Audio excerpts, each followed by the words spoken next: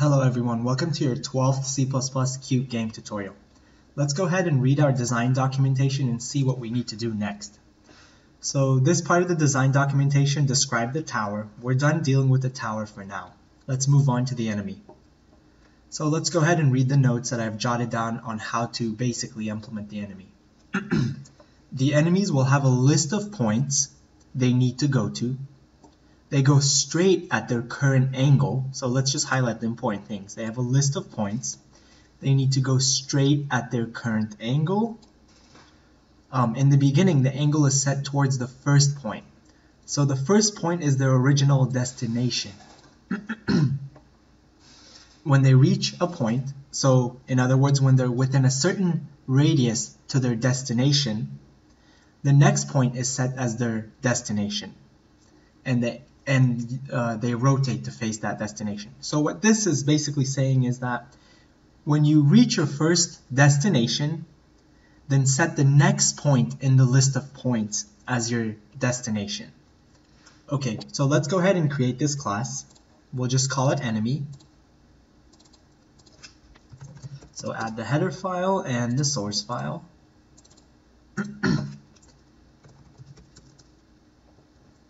Okay, and then let's add an image inside our resource file to represent the enemy. So remember that a resource file is just a handy way to ship a bunch of files with your executable. Let's open up our resource file and then add a new file inside the images folder and that will be enemy.png. Here it is. Okay, so we need to include QGraphics PixMap item um, because our enemy is an image that needs to go inside a scene. So QGraphics. We also need to include QObject because our enemy needs to be able to handle signals and slots. So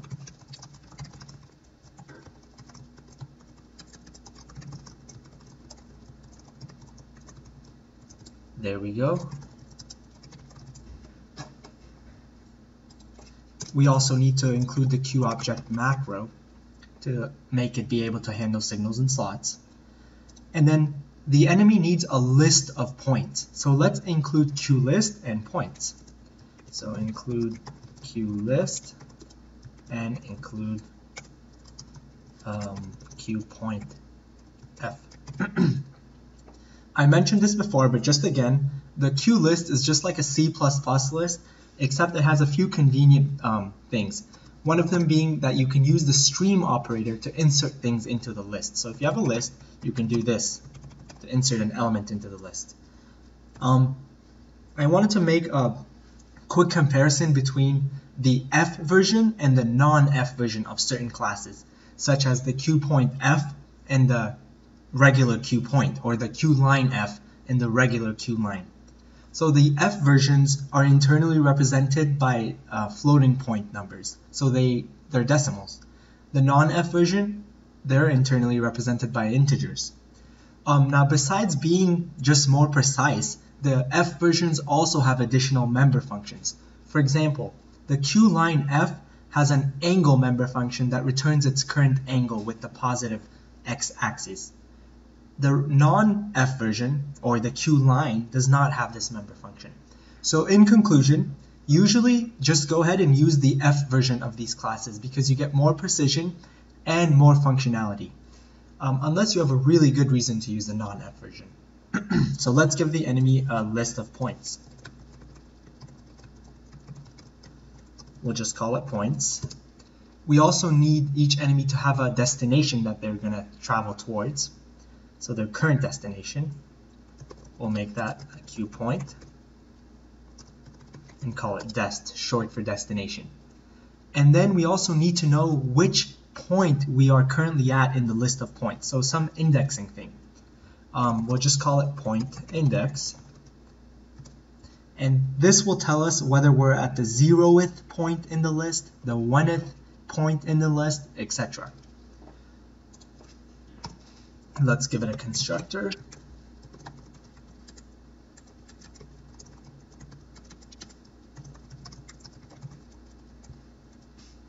Okay, and uh, you always want to put this in the constructor of your custom classes because you want your classes to be able to have a parent.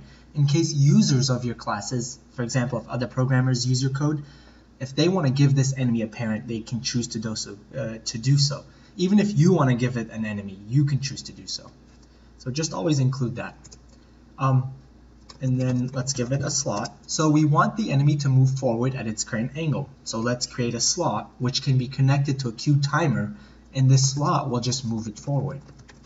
So periodically we want the enemy to move forward.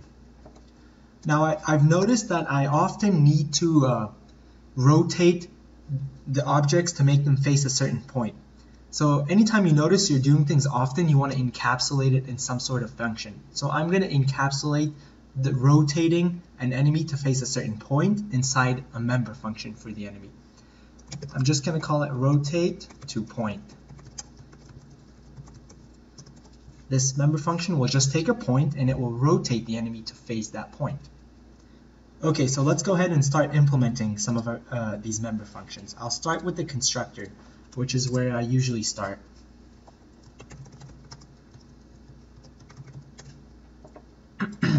First thing we want to do in the constructor is set the graphics. So set pixmap, qpixmap, um, and that means we have to include qpixmap now. Okay, and then we give the qpixmap a file name, a file path. So remember when we want when you want to specify a file that lives in a resource file, you have to start your path with a colon. And then just like a regular path. We want to go inside the images folder of the resource file, and then we want to get enemy.png. Okay. Now we want to set the initial points, or we want to give the enemy some points to follow.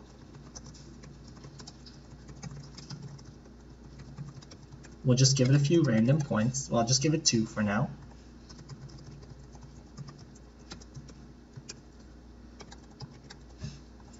So basically, we're putting two points into its list of points, 200, 200, and 400, 200. So if our algorithm works correctly and the enemy follows these points, it should first um, move down left, that's because the 200, 200, then it should just move to the right. I'm sorry, it should be down right. Yeah. And then it will just move to the right because we keep the y the same. Okay, now we want to set its initial destination. Well, before even doing that, we want to set the point index. So remember that the point index tracks which, which um, uh, index of the points list we are currently traveling towards. So you want to set that to 0. And then let's set the destination to be the zeroth point in the points list. I hope that wasn't confusing to hear. Okay. Now we want to connect a timer to the move forward member function. So we have to include qtimer, make a qtimer,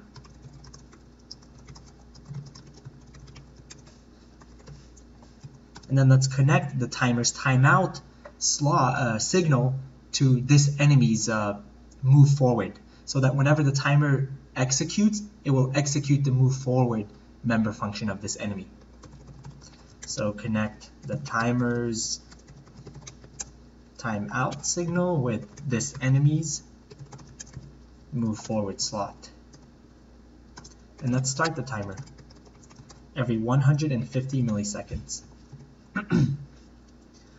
okay, everything looks good. Let's go ahead and implement the remaining member functions. So we'll start by implementing rotate to point. This member function takes a point and it will just rotate the enemy to face that point. Now the way that I plan to do that is simply by creating a line from the current position of the enemy to the point that it needs to rotate to. And then just rotating the enemy to face that line, basically, to be parallel to that line. So Q line F, ln from the position to the place that we need to face. And then we're going to set the rotation to be negative 1 times the angle of this line. And the reason why we use this negative 1 is because ln.angle will return the angle that this line creates with the positive x-axis in a counterclockwise direction. But the rotation, the set rotation member function rotates clockwise. So to take care of that little discrepancy, we just multiply it by a negative 1. So multiplying this counterclockwise by a negative 1 makes it clockwise, basically. You can remember it that way. Alright, let's see what else we need to implement. Move forward. Now the move forward of the enemy is identical to the move forward of the bullet. So let's just go ahead and copy and paste the code. Um, usually you want to think a little bit more and find a better solution such as refactoring instead of copying and pasting, but in order to save time, I'm just going to copy and paste. Okay, so step size for the um, enemy, we want it to be much less than the bullet because the bullet needs to be a lot faster than the enemy and then everything else looks okay. Okay, so this will simply move enemy forward at current angle. Alright, let's go into our game class. And inside the game constructor where we initialize everything, let's create an enemy, a test enemy. So include enemy, and then create it.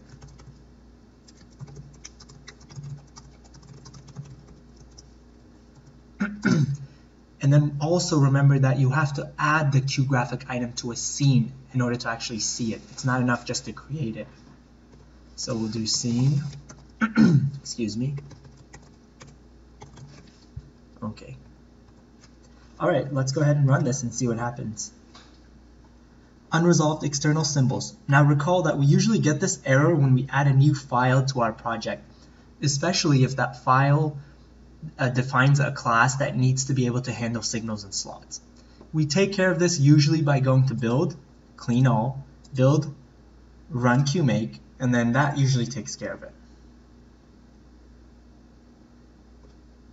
And it did, but we have another error. So q sine identifier not found. Well, that's because the um, the q sine and the q cosine and the q degrees to radians functions are in a header file called qmath. So you have to ensure that header file is included. That should take care of that. And there we go. So the enemy spawns at 0, 0 by default, and it's given a list of points. One of the points is here, the other is here. But the enemy just moved towards its current angle, so when we initialize it, let's have it rotate towards its first destination. So uh, let's go inside the enemy constructor. After we set the destination to be the first point in the points list, let's actually rotate it. So we created this member function called rotate to point, which rotates to a certain point. And which point do we want to rotate to? Its destination. Let's test that out. Okay, so the enemy again is initialized with a list of points which contain the point here and another point here.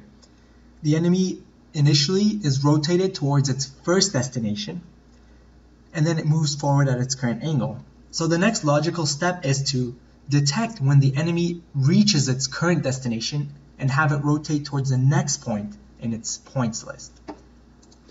So let's go in the move forward member function and before moving it forward, let's see if it's close enough to its destination. So if close to dest, rotate to next destination. Okay. Um, and how we're going to test the distance is basically I want to create a line that goes from the current position of the enemy to its destination.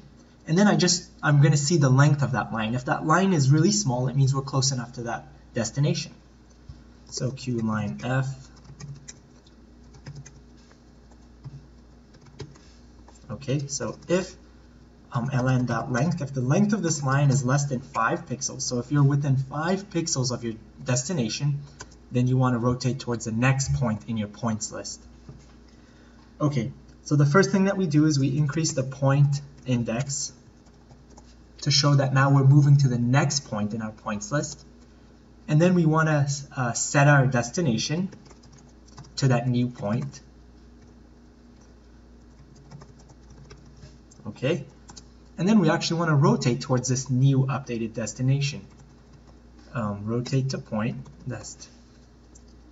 Okay, so let's test this out. so there we go. The enemy is initialized with a list of two points, one here, one here. When it reaches its destination, which is initially set to the first point, um, well, let me rephrase that. So basically, the enemy is initialized with a list of points. Don't worry about this error yet. Um, and its initial destination is set to the first point in that list of points.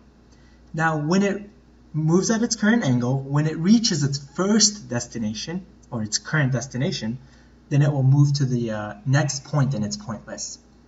And the reason why we get this member function is because even after we've reached the last point in our points list, we still try to update this point index, and then we try to access an index that no longer exists. Um, so that's an easy fix. It's not that bad, but this tutorial is long enough. I want to try to keep them a little bit shorter. So I'll leave that as an exercise to you guys. Check to make sure that the point index is not bigger than the size of the points list. And then if it's not, you want to move on to the next point. But if it's bigger, it means that you're already at your last destination. So in that case, you would want to do something like print to the screen um, qdebug uh, final destination reached, or however you want to do it. So that's an exercise for you guys. Um, I've been getting some feedback on the previous tutorials saying that the pace is good. I would appreciate it if you guys let me know if the pace is still good or if I'm moving too slow for you guys now or too fast. I purposely made these past two tutorials kind of review the important concepts um, because these concepts that we've been reviewing you will use for 90% of the game development that you do using C++ and Qt.